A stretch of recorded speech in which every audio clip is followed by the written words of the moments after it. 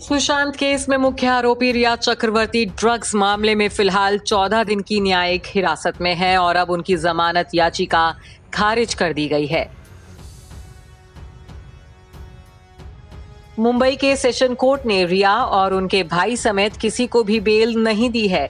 रिया पर ड्रग्स के सेवन के साथ साथ खरीदने और किसी और को देने के आरोप हैं। यानी मुंबई की भाईखाला जेल में रिया चक्रवर्ती को कुछ दिन और काटने होंगे। एनसीबी ने जाँच का हवाला देते हुए बेल के खिलाफ अपना पक्ष रखा और अदालत ने सुनवाई के बाद रिया और दूसरे आरोपियों को बेल नहीं दी।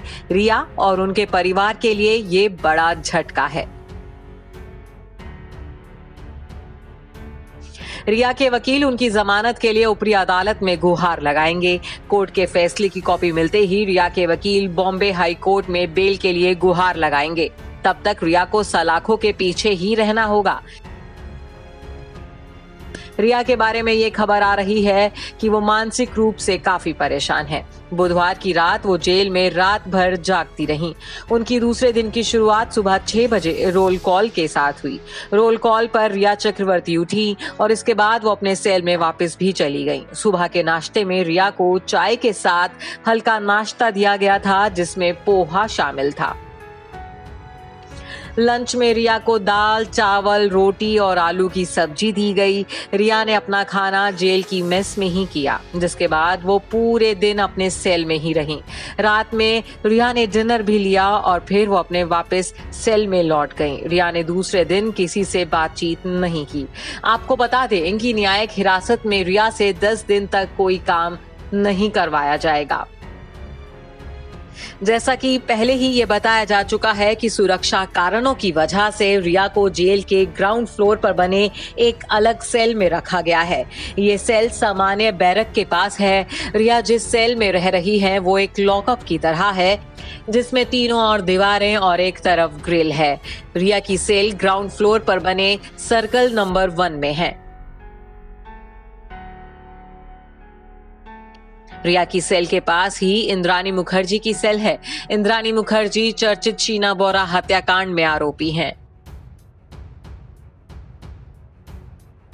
आपको बता दें कि रिया चक्रवर्ती ने न्यायिक हिरासत की पहली रात भाई खला एनसीबी की हिरासत में काटी थी। चूँकि अदालत का फैसला देर रात आया था, इसलिए रिया को जेल में शिफ्ट नहीं किया गया था। दूसरे दिन सुबह उन्हें भाईखला जेल में शिफ्ट कर दिया गया। भाईखला जेल में रिया की पहली रात बेहद बेचैनी भरी बीती।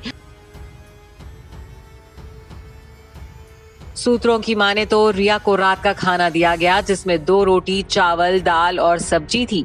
रिया ने सही से खाना नहीं खाया और वो काफ़ी बेचैन रही। वहीं गुरुवार को रिया के वकील की तरफ़ से दायर की गई याचिका पर सेशन कोर्ट में सुनवाई हुई। रिया के अलावा बाकी छह आरोपियों के वकीलों ने भी अपनी अपनी दलीलें दी। सभी दलीलों को सुनने के बाद सेशन कोर्ट ने अपना फैसला सुरक्षित रख लिया। जिसके बाद ये तय हो गया कि इन सभी को गुरुवार की रात भी जेल में ही बितानी होगी। आपको बता दें कि रिया के वकील सतीश माने शिंदे की तरफ़ से जो दलीलें दी गई हैं, उनमें कहा गया था कि रिया के पास से ड्रग्स नहीं मिला है। दूसरी तरफ़, रिया ने जाँच में पूरा सहयोग भी किया है। जितने भी अधिकारियों ने रिया से पूछताछ की, उनमें कोई महिला अधिकारी नहीं थी। इस तरह की दलील भी सतीश मानिशंदे की तरफ़ से दी गई है। दूसरी तरफ़ एनसीबी की तरफ़ से ये दलील दी गई थी कि रिया चक्रवर्ती और उनके भाई शौविक चक्रवर्ती को फ़िलहाल जमानत ना दी जाए, क्योंकि ये दोनों बाहर आकर इस पूरे मामले को प्रभावित कर सकते हैं। एनसीबी ने सारे सबूत इकट्ठा करके कोर्ट में पेश किए। माना जा रहा है कि एनसीबी ने इस पूरे मामले में बेहद पक्के सबूत इकट्ठे किए हैं। Bureau report E twenty four Rhea, Showik और सभी आरोपी के लिए सबसे बड़ा झटका है। सबको लग रहा था कि उनको बेल ज़रूर मिल जाएगी, क्योंकि उनके पास कुछ बरामदगी नहीं हुई थी, और लग रहा था कि जो जो इलेक्ट्रॉनिक एविडेंस थे, वो भी पुख्ता नहीं थे। तो लग रहा था कि उनको बेल मिल जाएगी लेकिन बेल रिजेक्ट हो चुकी है।